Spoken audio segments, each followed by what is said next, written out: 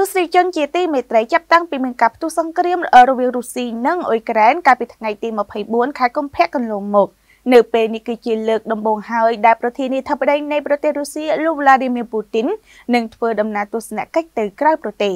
ដោយលោកនឹងទៅបំពេញទស្សនកិច្ចទៅកាន់ប្រទេសដែលជារដ្ឋនៃអតីតសហភាពសូវៀតដោយនៅក្នុងនោះរួមមានប្រទេសតួបេគីស្ថាន និងប្រទេសតាគីស៊ីស្ថាន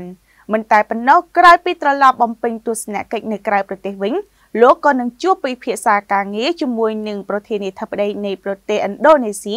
លោកជូកូវីដូដូផងដែរនេះបើតាមកាយចេញផ្សាយដោយទីភ្នាក់ងារសារព័ត៌មាន Reuters នៅថ្ងៃទី27ខែមិថុនាឆ្នាំ2022 ប្រធានាធិបតីរុស្ស៊ីលោក Vladimir Putin នឹងបំពេញទស្សនកិច្ចទៅកាន់ប្រទេសចំនួន2ដែលធ្លាប់ជាអតីតរដ្ឋនៅក្នុងសហភាពសូវៀតនៅក្នុងតំបន់អាស៊ីកណ្ដាលនៅក្នុងសប្តាហ៍នេះហើយវានឹងក្លាយទៅជាការបំពេញទស្សនកិច្ចនៅក្រៅប្រទេសជាលើកដំបូងចាប់តាំងពីលោកបានបញ្ជាឲ្យកងទ័ពរុស្ស៊ីវាយសម្រុកចូលអ៊ុយក្រែនដែលលោកខាងលិចហៅថាគឺជាការឈ្លានពានកាលពីថ្ងៃទី24ខែកុម្ភៈមកនេះបើតាមប្រព័ន្ធផ្សព្វផ្សាយរុស្ស៊ីដកស្រង់ការផ្សាយដែលទីភ្នាក់ងារសាបព័ត៌ព័ត៌មាន Reuters នៅថ្ងៃច័ន្ទទី27ខែមិថុនាឆ្នាំ